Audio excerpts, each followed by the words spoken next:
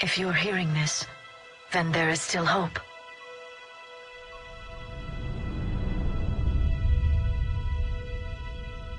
Hope that you can avoid the same mistakes we made. We fought the Reapers, but we failed to stop them. We did everything we could. We built the Crucible, but it didn't work.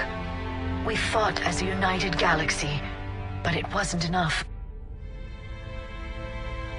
I only hope the information in this capsule is enough to help you before it's too late.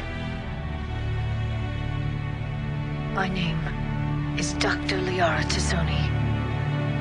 Herein lies the recounting of our war with the Reapers.